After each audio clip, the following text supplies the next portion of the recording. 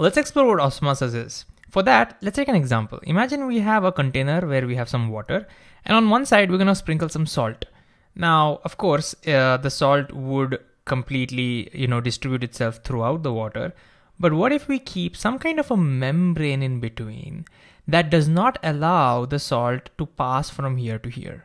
Okay, so the, imagine that there are tiny holes in that membrane which are too small for salt molecules to pass through. So they can't pass through. Okay, then these salt molecules are stuck over here. They can't go from here to here. But let's say that the holes are big enough for water molecules to move across.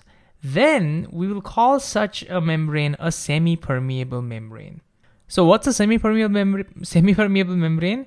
Well, it's a kind of membrane that allows the solvent molecules to go through so in this particular case, the solvent is the water. You can't see the water molecules because you, uh, you know, I've not drawn the water molecules over here. So it allows the solvent molecules to go through, but it does not allow the solute molecules to go through. So the solute molecules like salt, it doesn't allow it to go through it. Okay, so that's what a semi-permeable membrane is. So now the question is, what's going to happen? Well, First of all, you probably already know that because the concentration of solute over here is high and you hardly have have no concentration over here, you have nothing over here.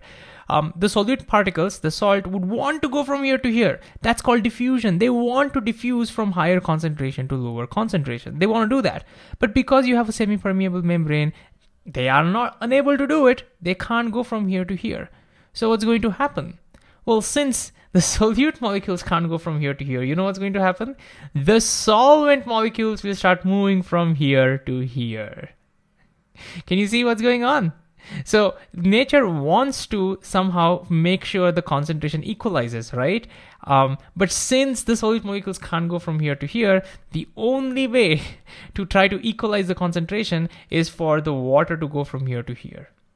So this movement of water that's happening from the lower solute concentration to the higher solute concentration is what we call osmosis. And so what is the definition of osmosis? Now we can understand the definition of osmosis.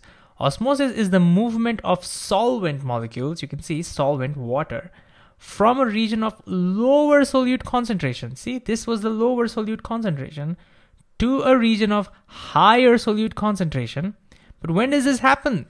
This happens through a semi-permeable membrane when there is a semi-permeable membrane. If there was no semi-permeable membrane, water wouldn't have to do it, the salt would have just diffused. Osmosis plays an important role in cells and living beings and all of that, and we'll explore that in a future video.